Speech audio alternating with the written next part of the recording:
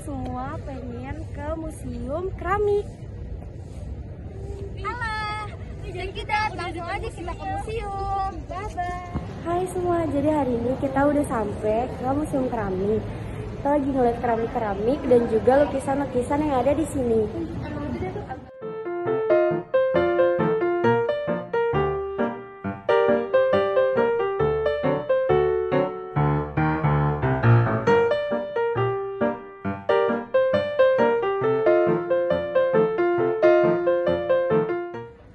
Kali ini kita akan menjelajahi museum ini bersama-sama. Let's go!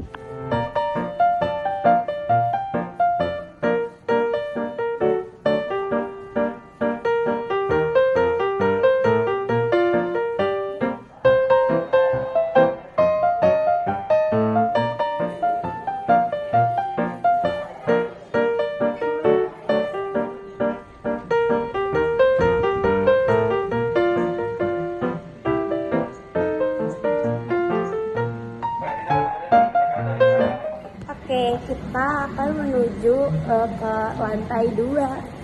Eh, Oke, kita sudah ada di lantai kedua. Di sini ada banyak-banyak keramik. Dilihat?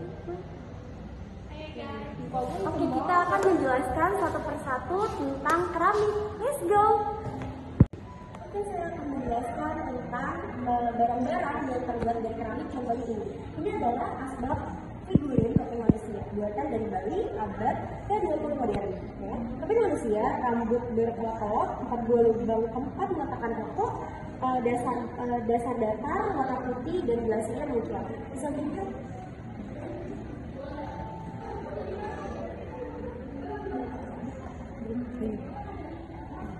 Oke, selain asbak, di sini juga ada cangkir dan cawan ya, piring kecil gitu. Di sini eh, buatan Bali juga, abad ke-20 modern.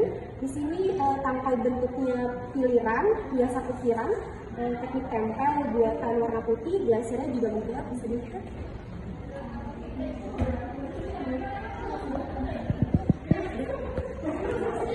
Oke, kita lanjut lagi dan teman saya akan menjelaskan selanjutnya. Jadi saya akan ngejelasin yang ada di sini. Nah, yang ada di depan mata saya itu figurin kelelawar. Itu buatan pelerak Jawa Barat pada abad ke-20, yaitu tahun-tahun yang awal modern lah. Yaitu ciri-ciri dari, dari figurin kelelawar ini matanya melotot, lidahnya menjulur, dan giginya bertaring. Terus kukunya tajam. Kalian bisa lihat sini warna coklat, itu depannya. Sekian. Oke, kali ini kita akan masuk ke ruangan selanjutnya. Hey guys, let's go. Oke baik, saya akan menjelajahi secara lebih banyak lagi tentang museum keramik ini. Di sini ada teman saya yang akan menjelaskan selanjutnya. Di sebelah sini saya akan menjelaskan tentang pengertian pas figur figurin banteng. Di sini ada kalian bisa lihat di sini ada pas figurin banteng buatan personal Jawa Tengah abad ke-20 modern. Terdapat empat kepala banteng, satu, dua, tiga, dan empat. Eh, bagian punggungnya terdapat tonjolan berlubang bulat yang seperti durian ini. Eh, hiasan tuntun teratai, saluran ukel, dan berwarna coklat.